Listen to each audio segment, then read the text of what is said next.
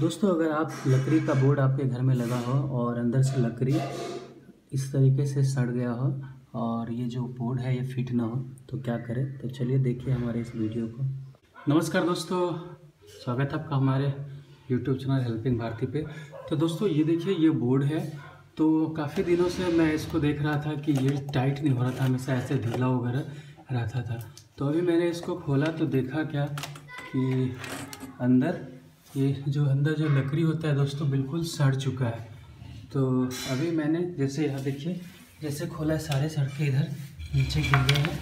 और ये बिल्कुल एक साइड से जिधर आपका इधर से, इधर का जो ये लकड़ी था, ये बिल्कुल सड़ा हुआ था और इस पर जैसे मैंने किया, हाथ में आ गया। और ये देखिए, साइड से इधर से भी, ये सब भी सड़ा है। तो ये तो फिर भी थोड़ा सा, ये देखिए, ये तो फिर भी थोड़ा सा चल जाएगा, क्योंकि स्क्रू दोस्तों इसी पे कैसा आता है। तो स्क्रू निकल जा रहा था। देखिए, हमने इसमें बड़ा स्क्रू यहाँ पे लगाया, फिर भी ये टाइट नहीं हो पा रहा था।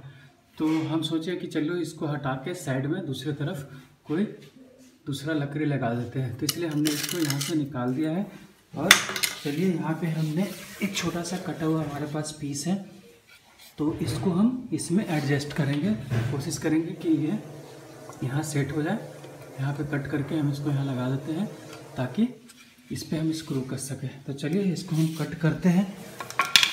ये देखिए, इसको यहाँ से हम जो साइज़ है, वो ले लिए हैं और इसको हमारे से कट कर लेते हैं।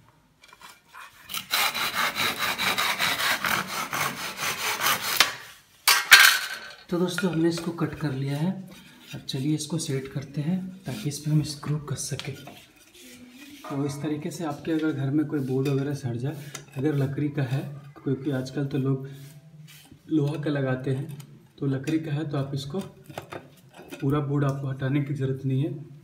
सिंपल एक साइड से थोड़ा बड़ा काटे ताकि इसको हथौड़ी से ठोकने के बाद इसमें बिल्कुल ऐसे मैं इसको ठोकूँगा तो फिट फिट हो जाएगा। फिर इसमें कील मारने की ज़रूरत नहीं पड़ेगी। तो देखिए हमने हल्का सा बड़ा इसको काटा है। तो चलिए इसको इसमें फिट करते हैं, फिर इसमें स्क्रू कसेंगे। तो हथौड़ी की ज़रूरत पड़ेगी अब मुझे, क्योंकि इसमें हमें फिट हो चलिए दोस्तों इसको हम यहाँ ऐसे लगा कर और यहाँ पे ऐसे लगा कर और फिर इस हथौड़ी से इसको अंदर ठोक देते हैं।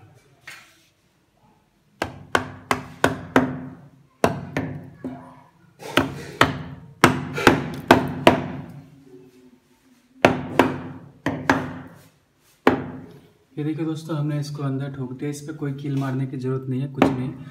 तो इस तरीके से आप ऐसे ठोक ले और यहाँ साइड से थोड़ा थोड़ा पेंच दे देंगे ताकि ये बिल्कुल टाइट हो जाएगा। एक ऊपर से यहाँ पे हल्का सा पेंच कोई और एक नीचे, ताकि बिल्कुल एकदम बढ़िया से टाइट हो जाएगा दीवार की मदद। ऊपर से दीवार और नीचे दीवार है, इससे ये जो कट जाएगा। तो गैस नीचे जो गैप आप यहाँ देख रहे हो, इस गैप को हम इससे भर भर देते हैं।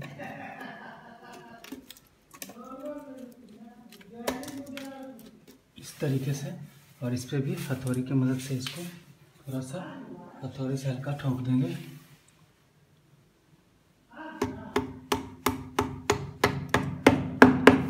ये बिल्कुल अब टाइट हो जाएगा। और ऊपर भी ये जो गैप दिख रहा है दोस्तों, इसमें भी थोड़ा सा किसी गैप लकड़ी का ही यहाँ पे भर दें तो ऊपर हम इस पेज को लगाकर इसको भी ठोक देते हैं।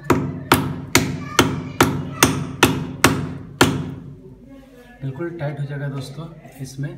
फिर ये बाहर बिल्कुल नहीं आएगा और इस पर स्क्रू बिल्कुल टाइट हो जाएगा। तो दोस्तों, अब ये बड़े जो स्क्रू है, इसकी अब ज़रूरत नहीं है।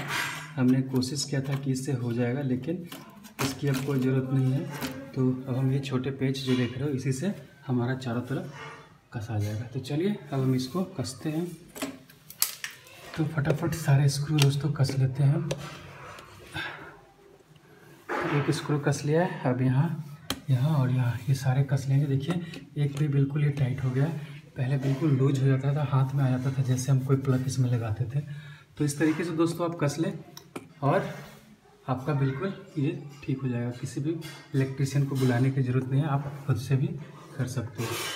तो दोस्तों, कैसा लगा वीडियो? ज़रूर वीडियो बताया कैसा लगा। और ये देखिए, यहाँ पे कितने कचरे इसमें से निकले हैं। ये जो लकड़ी था, जिसमें था, ये टूट गया है। ये टूट कर निकला है और इसके जगह जो हमने दूसरा लगाया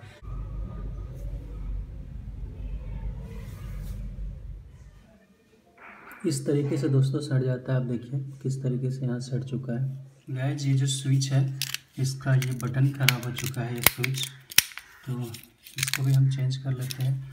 तो ये देखिए, यहाँ पे तो सड़ गया है, ये तो मैंने आपको दिखाया ही और इसमें हमने ये सौ रुपये का नया स्विच आता है दोस्तों। एंकर का ही है ये। पहले दोस्तों इस तरीके का आता था, अब ये प्लास्टिक का आता है। तो ये आप देख लें। तो चलिए हम इसको भी लगा लेते हैं। कोई दिक्कत नहीं है। तो इसको भी हम फटाफट जोड़ जिस तरीके से इसमें दोस्तों वायरिंग है। सेम वायरिंग हम यहाँ से अभी तार निकाल कर और इसमें जोड़ते हैं नए वाले स्विच में। चलिए, इसको हटाते हैं और ये जो हमारा वायर है, इसको हम यहाँ कनेक्ट करते हैं। देखिए दोस्तों टेस्टर में लाइट आ रहा है। तो हमारा ये बिल्कुल कनेक्शन हो चुका है। तो चलिए अब हम इस बोर्ड को कस देते हैं। दोस्तों, इसको हम यहाँ से नहीं हटाएँगे क्योंकि ये यहाँ पे और यहाँ पे कस जाएगा।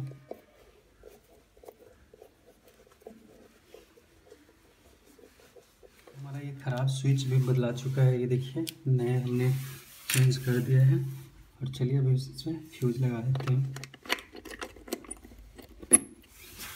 तो दोस्तों, इस तरीके से आप चेंज कर सकते हैं स्विच और इसको भी हम इसमें लगा दिया है। दोस्तों, ये भी ख़राब हो चुका है हमारा ये स्विच ये होल्डर तो इसकी जगह हमने नया होल्डर लाया तो चलिए, ये होल्डर हम इसमें लगाते हैं। मार्केट से पच्चीस रुपये का, आपको बीस पच्चीस रुपये का आसानी से मिल जाएगा। इस पर पच्चीस रुपये लिखा हुआ तो चलिए, इसको भी खोलते हैं और इसको भी जोड़ते हैं। टेस्टर से पहले हम चेक कर लेते हैं इस पर लाइट है कि नहीं। तो कोई टेंशन नहीं है। चलिए, इसको भी हम यहाँ से जोड़ लेते हैं। दोस्तों, ये देखिए, हमने इसको ऐसे निकाल लिया है। इसका दोस्तों, अंदर का ये जो स्विच है, ये बिल्कुल ख़राब हो चुका है। ये जो दावने वाला है। तो इसलिए ये देख रहे हैं होल्डर टूटा हुआ है। तो चलिए, अब हम इसकी जगह एक नया लगाते हैं और इसको कसते हैं।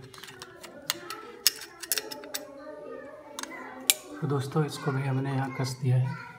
और चलिए, इसको यहाँ पे से स्क्रू कस के टाइट कर देते हैं।